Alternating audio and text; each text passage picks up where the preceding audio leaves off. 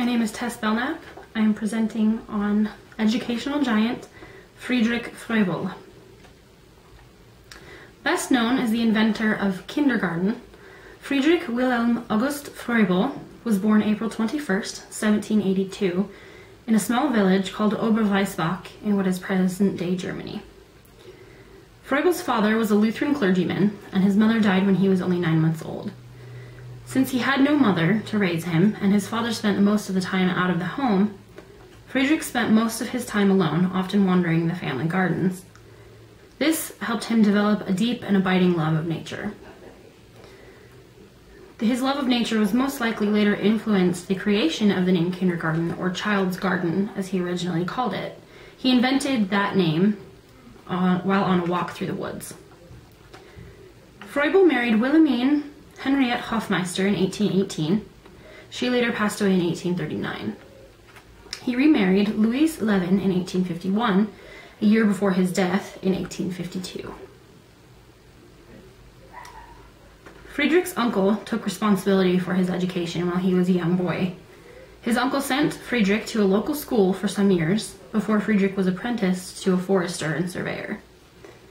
Froebel spent some time at the University of Jena before being jailed for unpaid debts.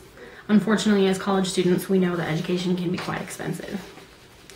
After being released from jail, Froebel went to Frankfurt, Germany to study architecture. Some say, in fact, many say, that his study of architecture allowed him to see benefits and downsides of many different creative environments. He preferred to think of a kindergarten as an actual garden where there was learning and growth taking place and it was a naturally welcoming, comforting environment. Friedrich Froebel, while in Frankfurt, Germany, met Anton Gruner, the headmaster of the Frankfurt Model School, which was based off of Pestalozzian methods. Gruner offered Froebel a teaching position, which he accepted, and he worked at, uh, as a private tutor and instructor at the Pestalozzi and Frankfurt Model School. There he learned about Pestalozzi's methods and philosophies. He even studied as one of Pestalozzi's pupils directly. After having directly studied Pestalozzi's methods and philosophy, Froebel created his own, which he believed were more structurally sound than Pestalozzi's methods. Froebel developed a deep respect and a care for children. He wanted to incorporate that into children's education and create a program for children under seven. Previous to his involvement in children's education, children under seven were not schooled at all. In fact, they remained at home and there was hardly any environment or place for them to learn outside the home. Froebel founded a university at Griesheim in 1816 where he taught for many years. He later opened a children's school in Blankenburg, Prussia. The first official kindergarten was established in 1836. Froebel believed that, quote, because learning begins when consciousness erupts, education must also, close quote. Kindergarten was developed to help children learn and develop creative and cognitive skills. Part of Froebel's desire to help children stemmed from his lonely childhood, and part of it stemmed from his Christian belief. As an idealist, Froebel believed in unity and interconnectedness between all people. Part of the German idealist movement that he was a part of fostered the idea that everyone has a spiritual essence that can be fostered through action and creativity.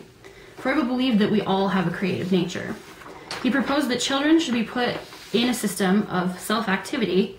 Essentially, this means that they are allowed to find what interests them individually and pursue it by themselves. This loose structure, which what we now know as kindergarten, is still practiced in many places today. One unique method that Froebel introduced was that of play by means of gifts and occupations. As I demonstrated in my PowerPoint, the gifts and occupations are actually, well, they were actually a set of tools and toys designed for specific purposes in mind with a hidden, uh, larger meaning behind them. Six colored balls are the first gift. They're designed to introduce children, very young children, infants, to color, creativity, and touch. They were gifts that were given to children that he uh, encouraged mothers to give to their babies. As they got older, wooden geometric shapes began to be introduced in sets of different shapes and sizes. The child now has the gift that with which he can build new shapes. The fourth, fifth, and sixth gifts are a series of differently cut geometric blocks, also, each introduced to foster construction and once again creativity. Rings, beads, and small lentils are introduced last.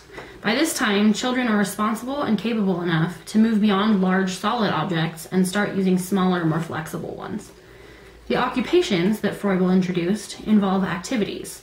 For example, working with clay, sculpting clay, and cardboard, paper folding and cutting, painting, intertwining, weaving, drawing, stringing beads and buttons, etc. To quote directly from a source I used, Froebel Web, quote, the gifts and occupations are intended to give the child new universal aspects of the external world suited to a child's development, close quote. Today, kindergarten is widely used program around the world, especially in most public schools across the United States.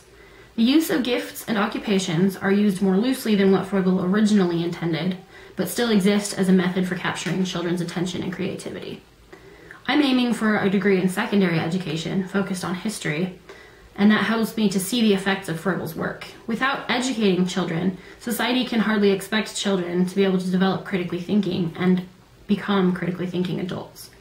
The methods Froebel used are designed specifically to stimulate certain areas of the brain, which develop motor skills, social skills, etc. Kindergarten allows for children under grade school age to interact with other children and begin learning social skills. It introduces them to scholastic, step by step thinking fosters activity and action. This program of kindergarten created by Friedrich Froebel was revolutionary. It introduced, introduces better educational opportunities for children of younger age. Thank you.